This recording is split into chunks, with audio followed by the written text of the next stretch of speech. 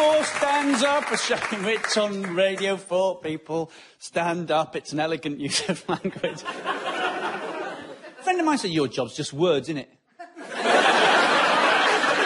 Firstly, never say in it to me. I'm the wrong generation. Secondly, in it.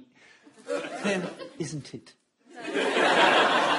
Anthropologists tell you that we develop language to communicate with each other during hunts. I don't buy that. I think language is more likely to have developed spontaneously, probably between a cave couple who were entirely furious with each other, just incandescent with rage and wholly incapable of expressing their emotion, decades of pent up fury, standing opposite each other in the cave mouth, going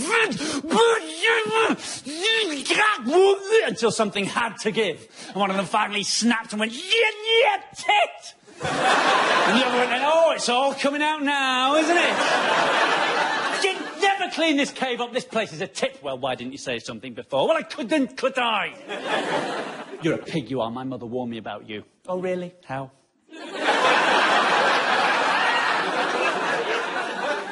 From that moment, right, where there was no language at all. We've evolved to a stage now where there are 5,000 recorded human languages. 5,000 recorded human languages, which I think goes some way to explaining why the people in the part of southeast London where I live don't appear to have chosen one as yet. Still looking through the catalogue. Yeah. Leave me alone. Looking for the one with the most words for you, muppet. Some of the spoken languages are, are, astonishing because they're not all, as we think of languages, they're not all verbal. They don't sound like the languages we're used to, like English or, or French or Italian, Spanish, Chinese even, you know. Like the Bantu people, right? The Bantu people of southern Africa. Oh, talking through a burp. That's a charming habit, isn't it? Yeah. Or the um, M&S food. Yeah. Um, These aren't just burps.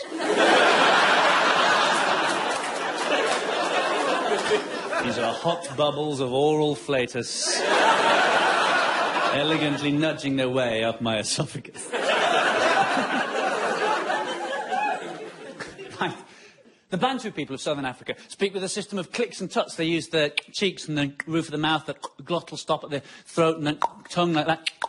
They, they're constantly surrounded by horses they've no need of, these people. Bantu for go away horses you know, there's, it's hopeless. It's hard on the horses as well, the mixed messages. You say you want me, you push me away, what am I to think? Language became really powerful for humans when we started to write it down, and more importantly, when we started to print it. It's printing that was the, the, was the big step. Before printing, you have to rely on monks to copy everything out longhand, and that just takes forever. Never get a monk to take a phone message for you, because it just takes ages. Phil called, Big P, colour it in gold, draw a dragon through the middle. Just tell me. The whole vow of silence thing doesn't help with taking the messages in the first place. If you ever phone a monastery and there doesn't appear to be anybody there, just keep talking. If you keep at it long enough, you can get one of them to break Eventually, if you spend long enough going, hello, hello, hello, hello, hello, eventually one will go, oh, bloody monk! Oh, you little... I'm in trouble now, thanks to you. I'm going to be holding by the abbot and given a really strong looking at. As ever on Four Stands Up, we have uh, spared no, uh, no expense. We've used the licence fee, even though that's only really for telly and we're not supposed to dip into it. Uh, we can hire some of the finest comedians currently working live in this country. And that is what we have for you this evening. Three wonderful comedians. Would you please welcome the first of those, Mr. Matt Kirshen? How are you, people? My name's Matt. Uh, I guess I'll tell you this. Um, my whole family is kind of Jewish. uh, I mean, I, I, don't personally follow the religion at all because because bacon's nice.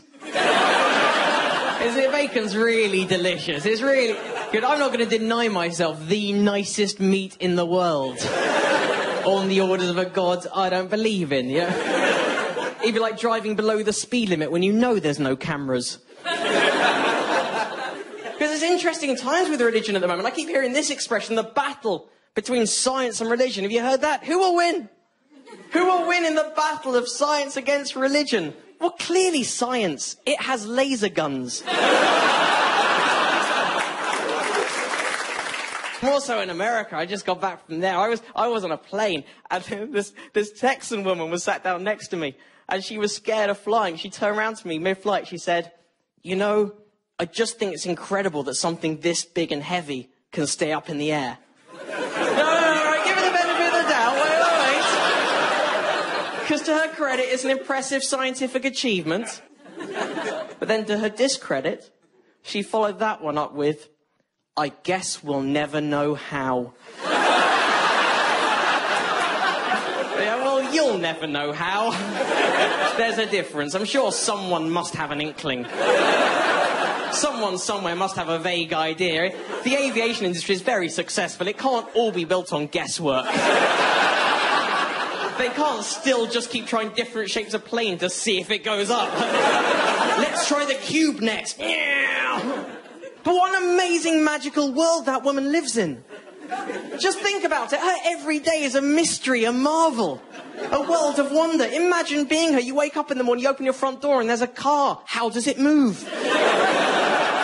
Television. Who are these tiny people? Why are they talking to me? How come I can't talk back? I think that's why they wave at the end of American game shows. It's so people like her don't get upset. Bye.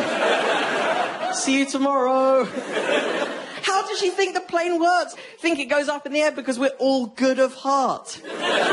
we behaved ourselves all year, been so good, so as an extra special reward, Jesus picks up the plane and carries it across the country, sets it down again at the other end. As we near our destination, the pilot just stops believing ever so slightly. we just drift back down to earth on a cloud of magic and hope. Because to most people, flying's mundane, right? I guess to just about everyone in this room, flying's no longer special. And it used to be within all of our lifetimes. Think back 15, 20 years ago, flying was an event. It isn't now. My parents went on holiday last week. I presume they made it. Because I would have got at least a text. That plane gone down. Sad face. and it never used to be that way. Remember 15, 20 years ago, we landed in another country. What's the first thing we do? We'd run to the nearest payphone, right? My mum would phone her dad. He would tell his wife, she runs to the top of the hill and light the beacon. and the whole village would rejoice. Like, they made it, people, they made it music and dancing, little Ewoks going crazy. It was an event. Text messaging has killed the beacon. My mum started texting recently. I don't know if anyone in this room is in this position or anyone listening at home, but it's the acronym she has trouble with, the abbreviations LOL, LOL, which, you know, in the world of texting is laughs out loud. Haha, I found that thing funny. It's almost a word in its own right, isn't it? I'm dreading comedy in a few years' time. I'll tell a joke and the audience will just go, lol. Lol, right? Yeah, man. Ruffle. but that's what it means in the world of texting. But in my mum's mind, it means lots of love. No, I know, ah, it's really sweet. My mum loves me, that's great. But it's also incredibly confusing. And not a little bit sinister as well. I was getting all these mundane text messages of her that had inexplicable laughter at the end of them. like some mad nervous tick that she developed for the first time in her life in text message form. Left your keys on the windowsill. Ah! Hope you have a safe flight. I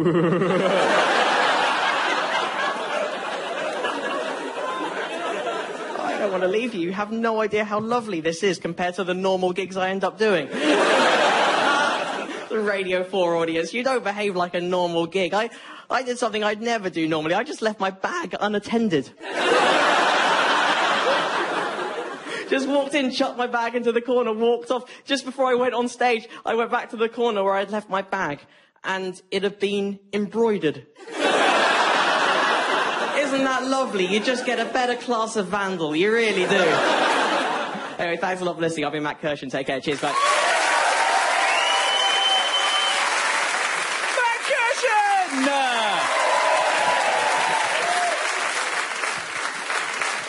Friend of mine uh, told me he's, he's gone to visit a, he's gone to visit a cryogenics lab right? With a view to future arrangements. And uh, what an astonishing thing to do. I, I, couldn't, I was utterly gobsmacked. Would any of you uh, get yourself cryogenically frozen? of course you wouldn't. It's absolutely. You really have to trust the people involved because there's a lot of scope for mucking about there, isn't there? if you ever run a cryo lab, right, and there's no reason you shouldn't, the government are all for retraining, right? You ever find yourself running one of the great thing to do is start bringing people back to life somewhere they're really not expecting it. Like in the middle of Laser Quest, holding a gun, going, "Oh my God, the future really is like this!" then they open the door. Then they open the door and there's a Tesco's and a Pizza Hut. Oh, very funny, yes, well done. Do you know, you, you know, they freeze people with helium. That's what they use to freeze people. Helium is the refrigerant. It's my, it's my favourite element, helium. And um, I have a favourite element. Imagine how long it took me to lose my virginity. Yeah. Never really lost my virginity, to be honest. It just sort of eventually wore off as I retired. what I love about that is the fact that when they finally do bring Walt Disney back to life, he's actually going to talk like Mickey Mouse. I don't think he meant to get frozen. I think it's all been a terrible error. He's going to be furious. I said, go ahead with Disney on Ice. Are you ready for your next Please welcome Loretta Maine!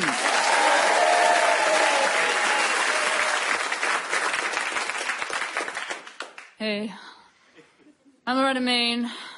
I won't insult your intelligence by telling you too much about myself. Sure, I read my article in NME magazine last week. Wasn't so much an article as an advert, but if anyone does need to hire a van, the offer still stands. This first song came out of love. Originally, it was called You're Gonna Burn in Hell, but um, my agent said I was alienating my audience, so he renamed it Isn't Love a Funny Thing? so you thought you'd fool around with her behind my back, but you didn't see me coming with that baseball bat. Once we were hugs and kisses, but that was all lies. You're just like all those other guys.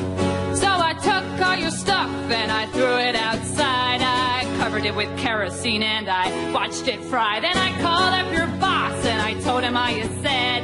Then I called your mom and told her you were dead.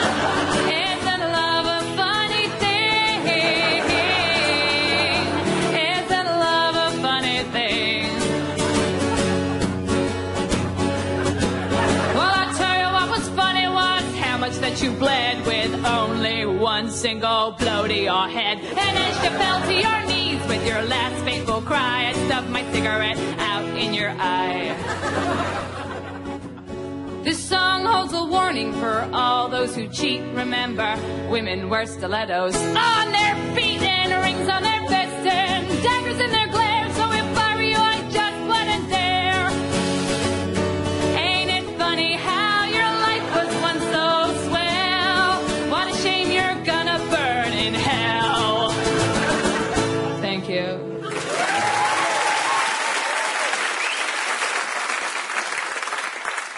Don't worry, he didn't die. But I did tell the ambulance guy the wrong blood type, so at least now he knows what rejection feels like.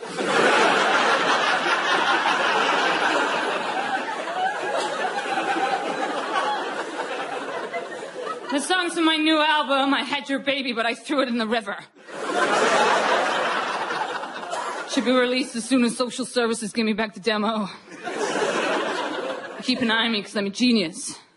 So I am like Van Gogh, yeah? You know, he painted stuff, no one liked it. I write stuff, no one likes it. Van Gogh cut off his ear with a razor, and sometimes I shave without soap. I know where my problems come from.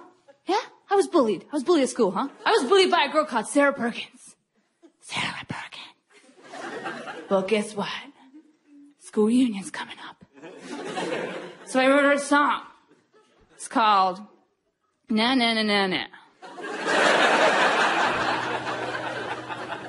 Knock, knock, Sarah Perkins. There's someone at your door. The girl you spat on daily and ground down into the floor. Well, look who found your house, Sarah, who scoured the phone book through. And now, Sarah Perkins, your fate is awaiting you.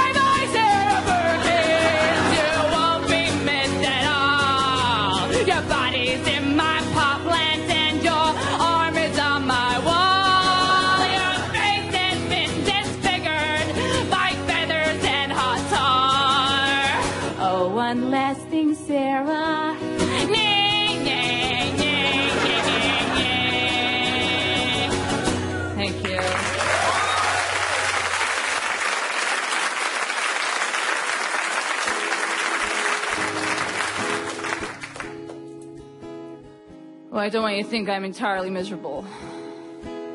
So I'd like to dedicate this last song to all the British men that I've loved and lost since I arrived here on Friday.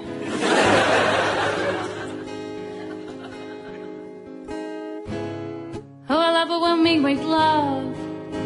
We're so close together, and I can look into your eyes, and you look into mine, and we know we fit together just fine.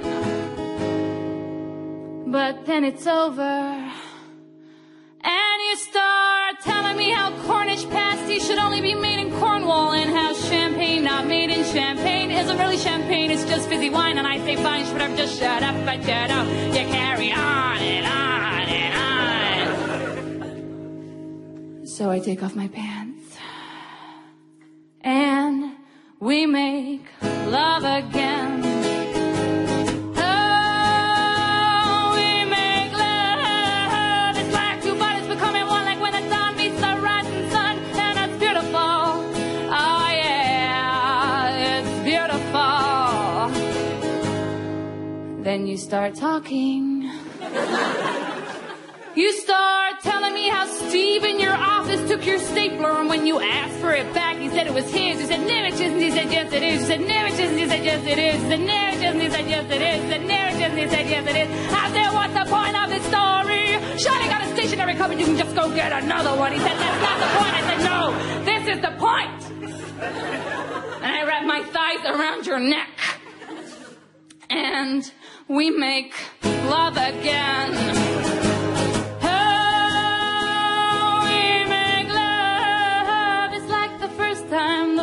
Time touched each other's young taut flesh. And for a moment you were perfect. For a moment you were perfect.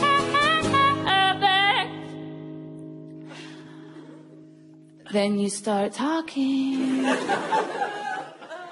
You start telling me about some league of football Tennessee where you rank 323 out of the whole country, which is pretty good actually. Considering you lost two to injury early on, Wayne Rooney in attack and Ashley Cole in left back? I said, why'd you go down the park, play some real football, get some real football kicks, get rid of those big old man tits? You said it is just like real football. I'm just like a real football manager.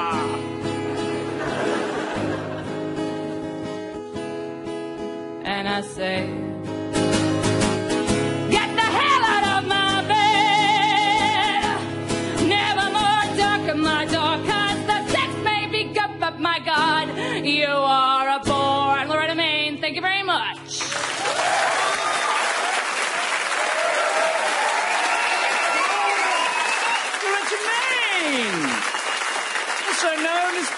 Evans. She goes by two names. It's uh, more to do with benefits, actually. So, ladies and gentlemen, it gives me tremendous pleasure to introduce Tim Vine!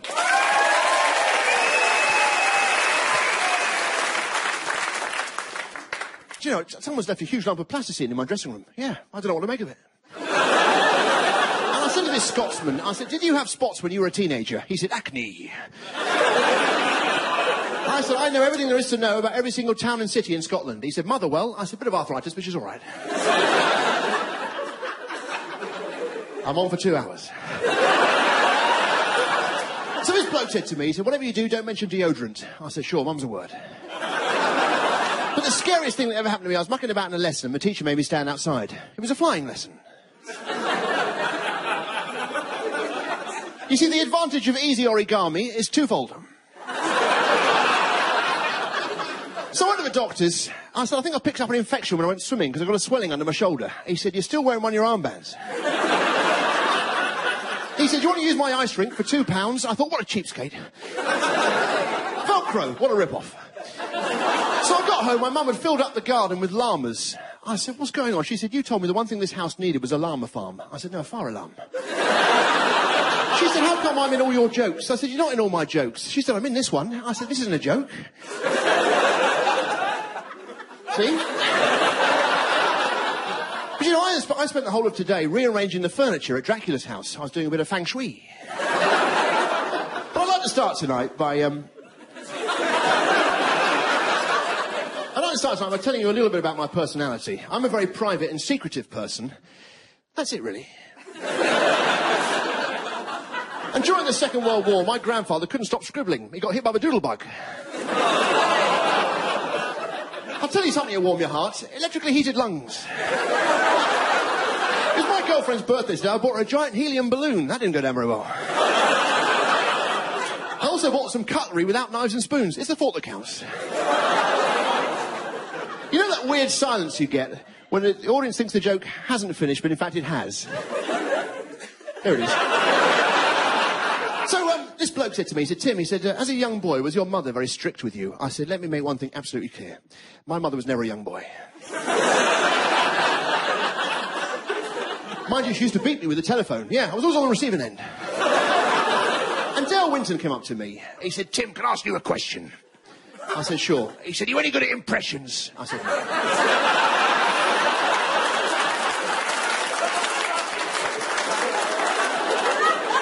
And have you seen that film where, where, a, where a transvestite plays hide and seek in a zoo? Crouching Tiger, Hidden Drag Queen. so I bought this DVD and the extras said deleted scenes. I went oh, and looked, there's nothing there. See, last night I dreamt I was the author of Lord of the Rings. I was talking him asleep. well, you've got to have a hobbit. There's the extra one. So I said to this bloke, I said, did you know Marie Osmond is about to appear in the world's worst film? He said, Warner Brothers. I said, already have.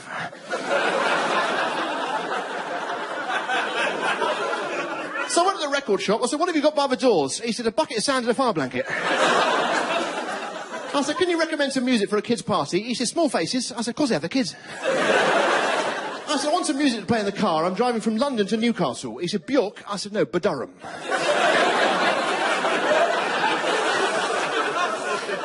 and what's all this fuss about the iPod? Plays you 5,000 songs in a random order over a one month period. Now, correct me if I'm wrong, isn't that called the radio? Because the reason why everyone's against animal testing, ladies and gentlemen, is because the tests are not interesting enough. They need to plough money into that, make them more interesting, and everyone will get behind it. For example, why don't they do tests like, how long does it take to get a kangaroo into a wetsuit? if you put a frog on a trampoline, do they cancel each other out? if you sellotape a tortoise to the front of a Formula One car, at what speed does he close his eyes? Have you seen that new reality TV show where religious insects go climbing? It's called I'm a Celibate Flea, get me mountain gear. lizard, lizard, lizard. Is there a gecko in here?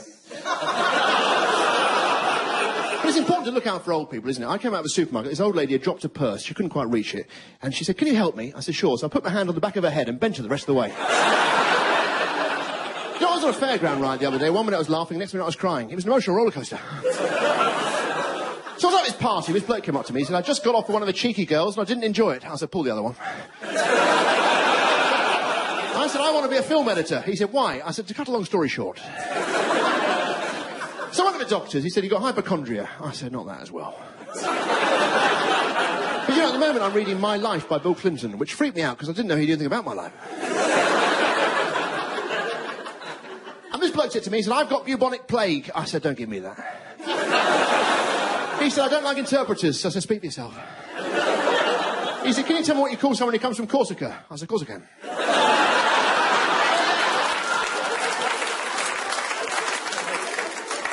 You see, the trouble... The trouble with an all-day breakfast, you've got to eat it so slowly, haven't you?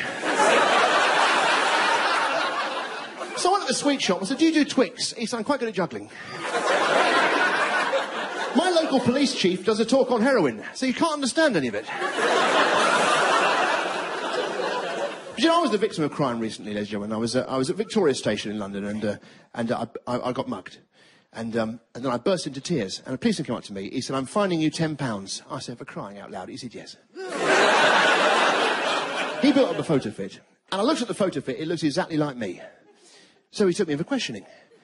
He said, where were you at five o'clock? I said, I was at Victoria Station. He it's not looking good, is it?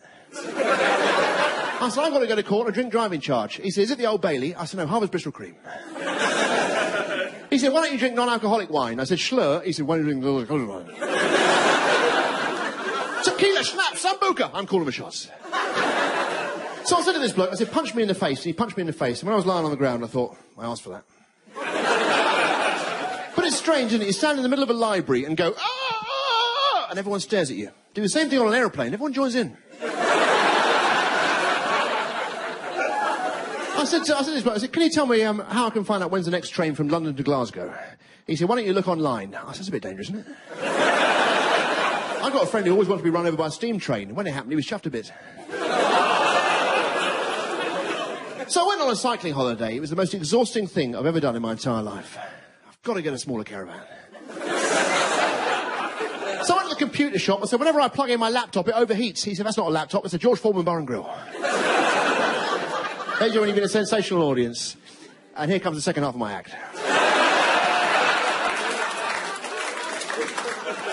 So, oh, you know, the other day I had dinner with my boss and his wife, and it was a complete disaster. My boss's wife said to me, she said, Tim, how many potatoes would you like? I said, I'll just have one. She it's all right, you don't have to be polite. I said, all right then, I'll just have one, you stupid cow.